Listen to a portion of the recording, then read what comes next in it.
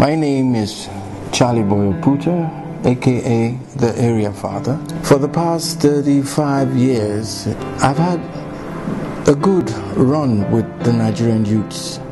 I like to see myself as a social engineer. I like to see myself as uh, someone with a different style, but who's always motivating, inspiring young people into uh, being consistent, into being tenacious, and dogged about their dreams. What I would like to see the youth desist from is the blame game. Yeah? Everybody's guilty. The fact that Nigeria is how it is today, we're all guilty. So I think we should all have a rethink and start from self.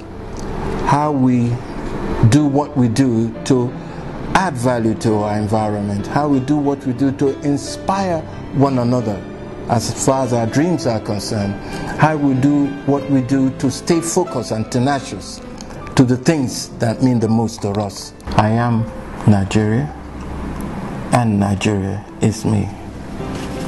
Wishing you happy centenary.